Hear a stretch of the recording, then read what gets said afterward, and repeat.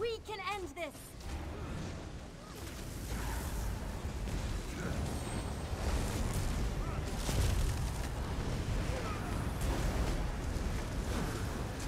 Quickly!